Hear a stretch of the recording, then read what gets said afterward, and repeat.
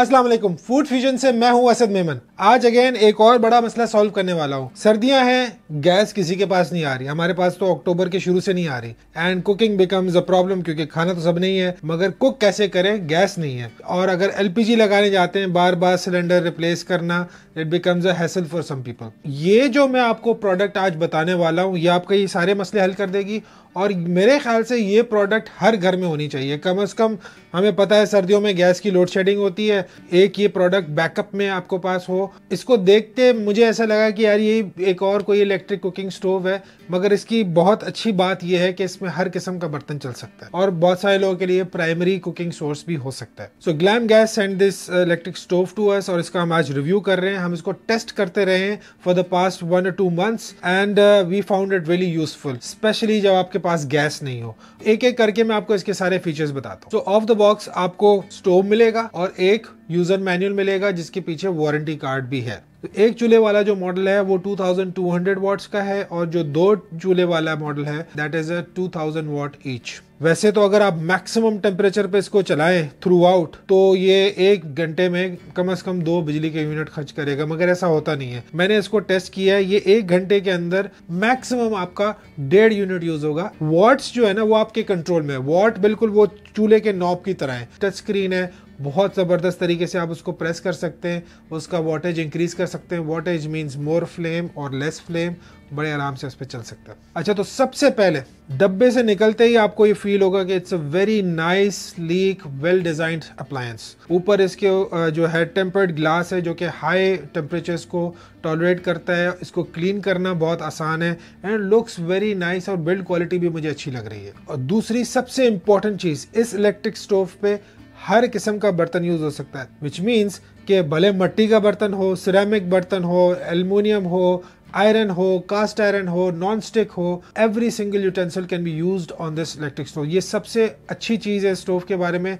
Normally आप induction वगैरह use करते हैं तो आपको इस तरह की इंडक्शन वाले बर्तन ही यूज़ करने पड़ते हैं, जो कि सिर्फ़ वो उस पर चलेंगे, वरना दूसरे जो आपने इतने अपने बर्तनों में इन्वेस्ट किया है वो आपके लिए बेकार हो जाते हैं अगर आप इंडक्शन पे करना चाहते हैं। बस एक छोटा सा ख्याल रखना है कि बर्तन जो है वो फ्लैट होना चाहिए। लेट्स से अगर आपने हांडी में कुकिंग करनी है तो फिर क्या करेंगे? अगर आपके पास फ्लैट बर्तन नहीं है तो उसका भी मैंने एक थोड़ा सा सोल्यूशन निकाल लिया है कि ये इस तरह का एक अटैचमेंट मिलता है जो कि किसी भी स्टोव के ऊपर रख सकते हैं और उस पर कर्व्ड हांडी हो या कढ़ाई हो रखने के लिए बड़ा हेल्पफुल होता है। तो वो आप अगर इस पर यूज़ करेंगे तो इससे आप एक कर्व्ड बर्तन भी रख सकते हैं। नंबर थ्री लोग डरते हैं कि भाई इतने सारे बटन है और इससे क्या करेंगे, कैसे चलेगा ये? बहुत सिंपल है। इसकी सिंपलिसिटी मुझे बहुत पसंद आई। First of all touch button हैं, जिसको आप सिंपल अपनी फिंगर की टैप से ऑपरेट कर सकते हैं। इसमें तीन मोड्स हैं। There is a hot pot mode there is a frying mode and there is a soup mode उसके बाद आप हर चीज़ के ऊपर टाइमर भी लगा सकते हैं। आई थिंक ये जो टाइमर वाली चीज़ है ना, ये भी किसी भी गैस स्टोव पे नहीं अवेलेबल होती।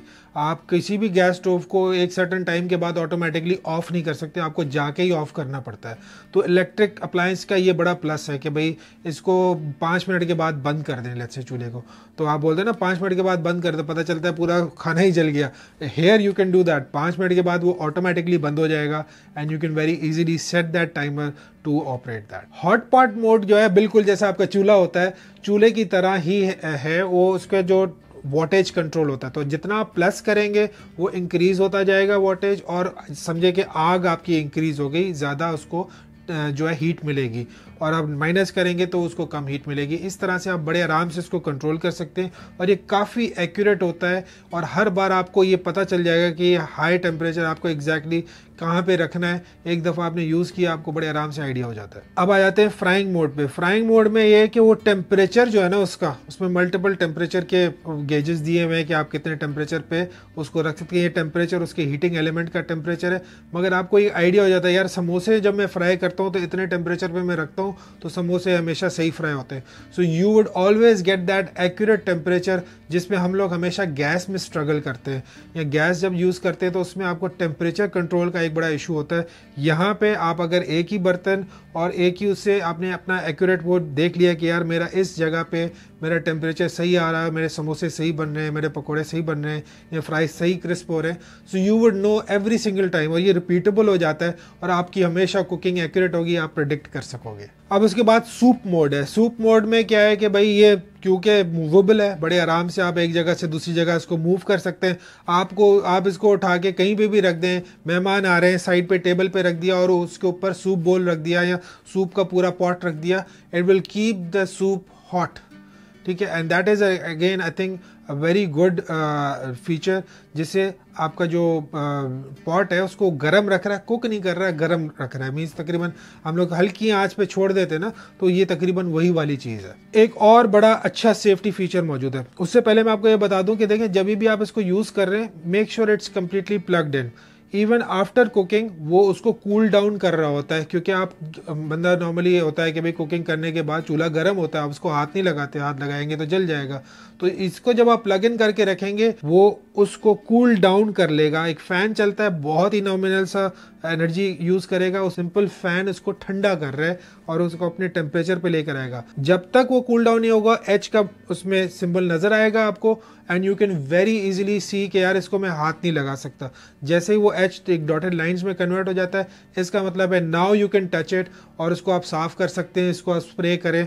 Very easy to clean I use it and मुझे तो ये बहुत चीज़ पसंद आई इसकी। हमने इसके दो मॉडल्स टेस्ट किए हुए एक सिंगल बर्नर है, जो कि रेड एंड ग्रीन कलर में आता है और एक दूसरा डबल बर्नर है, जो कि स्टेनलेस स्टील की बॉडी में आता है। And that's also very good to see दोनों एग्जैक्टली सेम फ़ंक्शन है। एक में दोनों एलिमेंट्स एक साथ लगे हुए हैं, जो कि टू टू थाउज़ेंड वाट्स के हैं। छोटा वाला जो है, वो two thousand two hundred watt जो कि सिंगल बर्नर है। अच्छा आखिर में वारंटी की बात करते हैं। वारंटी जो है ना, वो मेरे ख्याल से सबसे इंपॉर्टेंट चीज़ होती है। और फॉर मी एटलीस्ट मैं वो कंपनी प्रेफर करता हूँ जिसमें मुझे वारंटी की टेंशन ही नहीं करनी पड़े। क्योंकि क्वालिटी ऐसी हो कि वो चीज़ ख़राब ही ना हो जो वारंटी पीरियड है, उसमें उसकी नौबत ही ना आए। बट अगर आपको वारंटी क्लेम करना पड़ता है तो उसका भी प्रोसेस बड़ा सिंपल एंड स्मूथ होना चाहिए। आफ्टर सेल्स के ऊपर कंपनी का फोकस होना चाहिए। आपको उस कंपनी के फेसबुक पेज पे जाएँ और उनके प्रोफाइल्स पे जाके सवाल करें कि जी, मेरी फला चीज़ ख़राब होगी, भले आपने वो ख़रीदी हो या नहीं ख़रीदी हो। तो ये बड़ा इंपॉर्टेंट है कि आप उसको टेस्ट करें and then make a purchase क्योंकि वो कंपनी अच्छी होती है, जो कि आफ्टर सेल्स के बाद भी आपका फ़िक्र करती हो। आपको ग्लैम गैस की वेबसाइट पर वारंटी क्लेम का सेक्शन नज़र आएगा और ये बड़ा एक इंटरेस्टिंग सी चीज़ चीज़ है जो कि मैंने कहीं और नहीं देखी। प्रॉपर प्रोसेस बना हुआ है। आपने अपनी इन्फॉर्मेशन प्लग इन की वारंटी कार्ड की तस्वीर डाली सब चीज़ किया और आपके पास next day someone is at your doorstep they solve your problem you they give you a call और आपको यू नो आफ्टर सेल्स का एक प्रॉपर जेन्यून एक्सपीरियंस देते हैं। इन दी एंड हर कोई सवाल करता है कि जी प्राइस कितने का है? Where do I buy it कहाँ से ख़रीदूँ? सो so, इस सारे सवालों का जवाब एक ही चीज़ है नीचे मैंने लिंक दे दिया है, इस लिंक पे आपको प्राइस भी पता चल जाएगी कौन कौन से और मॉडल्स अवेलेबल हैं, वो भी आपको इसमें पता चल जाएगा। इसकी और क्या क्या प्रोडक्ट्स हैं because they have a lot to offer I I must say they have done a really good job Pakistani company doing such a good wide variety of kitchen appliances and kitchen equipment go check it out and enjoy your cooking until next time Pakistan जिंदाबाद